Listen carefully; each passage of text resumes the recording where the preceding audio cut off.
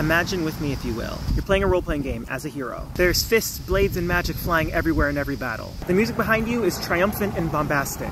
Then you defeat enough enemies to reach a mysterious door. When you open the door, you are met with several traps and mysterious puzzles. The music shifts. It's more calm, yet more intricate.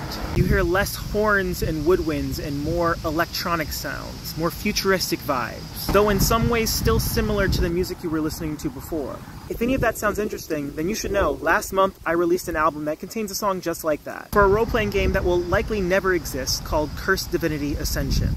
The song I'm speaking of is called Mysteries Unsolved. It was actually intended to be the third of only three songs I was intending for this album when it was more based on Legend of Zelda, Courage, Power, and Wisdom. But then I ended up going too far and making 10 other songs, which are all streaming right now. All 13 songs are up on Spotify and all the places. You can listen to it right now if you want to. But for now, here's a clip of the song Mysteries Unsolved.